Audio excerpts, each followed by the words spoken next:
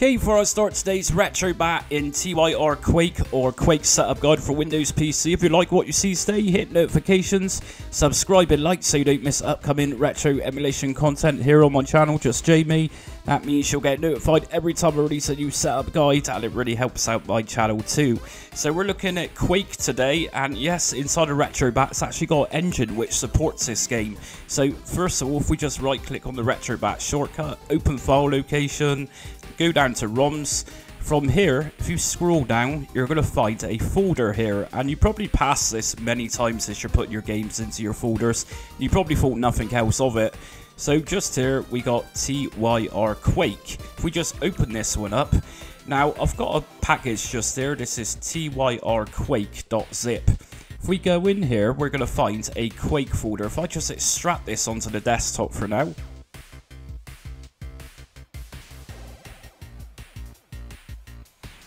Okay, so once that's extracted, I can now delete that zip folder. So the one I've got is Quake and in brackets tyrquake.zip. So let's just delete this one. Now if we open up that Quake folder, we're going to have four subfolders in here. What I need to do with these is drag each one into that TYR Quake folder inside a RetroBat. Okie dokes, once that's done, what we're going to do now is just delete that Quake folder I just very quickly created and open up RetroBat. Okay, so once we're inside of RetroBat, if we just scroll through, we're not going to find Quake at all. The reason being is that it's in ports. Now, it looks very annoying. This is the game itself, Pack 0, and we've also got Pack 1. If you want the actual symbol come up or the logo for the game itself, if you just press the start button to bring up main menu inside a RetroBat, go down to game collection settings, systems displayed, and if we scroll downwards, we're going to find a port section. If we just disable ports and press B to come out, we're now going to find Quake is actually got a logo, and here it is. Now, just bear in mind, this is a very old PC game, but having said that, it's not going to really demand anything substantial in terms of computer. So, if we open up the game, you can open up the game pretty much just by pressing A on Pack 0.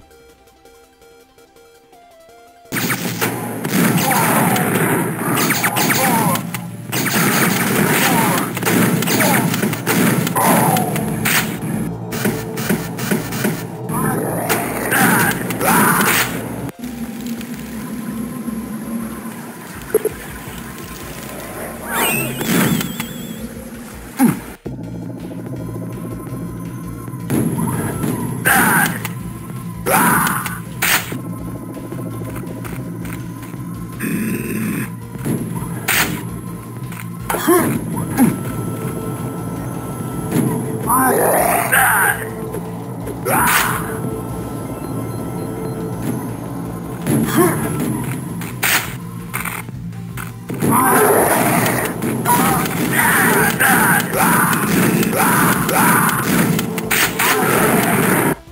So yes, it's looking very old, almost looks like an original PlayStation game, maybe a little bit worse.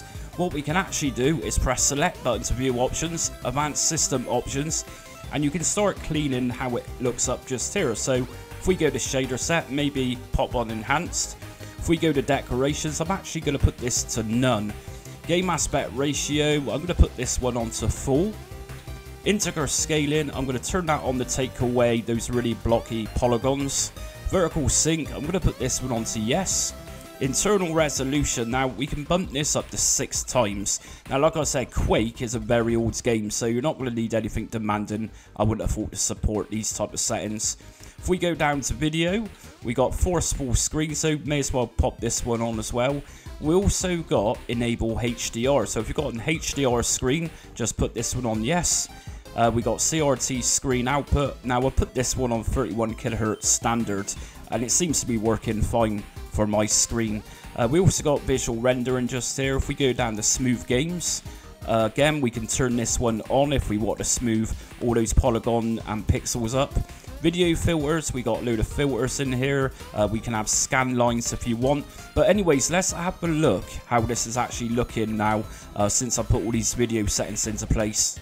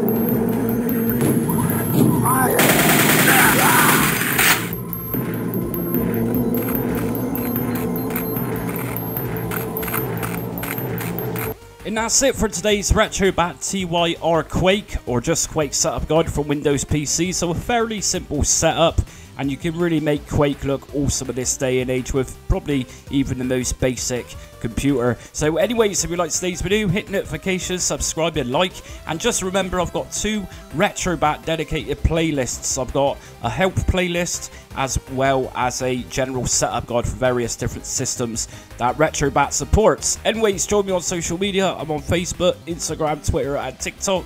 But until next time, stay retro.